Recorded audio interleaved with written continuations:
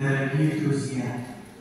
Мы приветствуем всех собравшихся в этом зале на церемонии вручения памятных знаков в честь юбилейной даты со дня полного освобождения Ленинграда от фашистской блокады. 27 января исполнится 80 лет с того памятного и самого светлого для каждого ленинградца дня. История знает немало примеров героической обороны крепостей и городов. Но эти легенды предмет перед той несравнимой победе человеческого мужества, стойкости и патриотизма, какой была 900-дневная оборона осажденного Ленинграда в годы войны. Фашисты говорили, что Москва – это сердце России, а Ленинград – ее душа. Как человек не может жить без души, так и страна потеряет свой боевой дух, когда лишится Ленинграда. Поэтому основных ударов гитлеровцы направили на Ленинград, целью стереть его с лица земли. Но город не сдался, город выстоял и победил. Дорогие ветераны, от имени всех учащихся лицея номер 299 поздравляем вас с 80-й годовщиной освобождения нашего любимого города от фашистской блокады, с Ленинградским Днем Победы, как мы его называем, и предоставляем слово директору лицея номер 299, почетному работнику образования Шпаковой Марине Владимировне.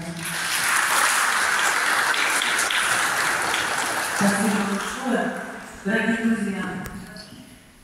Дорогие друзья, здравствуйте. Добрый день. Действительно добрый. 80 лет назад, когда прозвучали звуки победного салюта, тот день, наверное, был тоже очень, с одной стороны, тяжелый, драматичный, трагичный, но тем не менее уже был очень добрый. Это день, который принес победу, принес свободу, принес независимость. Действительно, в нашей истории, в истории нашей великой, огромной страны очень много трагических страниц. Нам неоднократно приходилось отстаивать свою свободу и независимость. И что такое цена победы, мы, жители великой страны, очень хорошо знаем. 80 лет, с одной стороны, говорят для истории, это миг, мгновение какое-то, но до 80 лет, когда каждый день жители этого города, и не только, помнят и знают, какой ценой было завоевано это великое счастье, какой ценой? Было завоевано то самое небо, которое, да, оно может быть серым, хмурым, мрачным и солнечным, но оно мирное небо, свободное небо.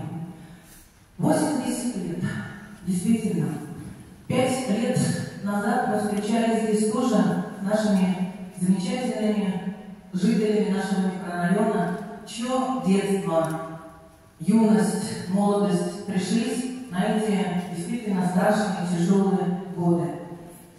И именно эти люди хранят прежде всего ту самую память и понимание и знание того, что это были за дни, что это были за годы. И очень важно, что вот эти, эта церемония проходит, наверное, в школах. В этом есть свой какой-то замечательный высокий смысл.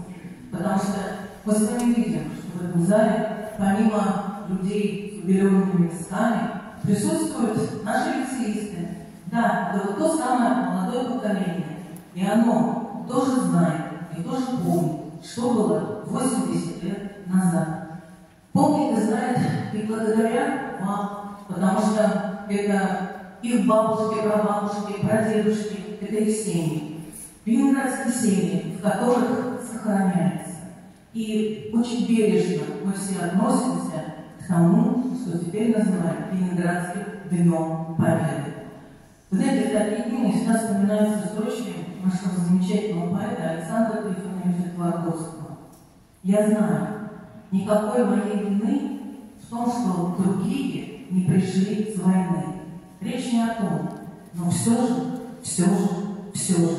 Дорогие друзья, я поздравляю всех нас с нашим замечательным Ленинградским Днем Победы. Здоровья, здоровья здоровья. И спасибо большое.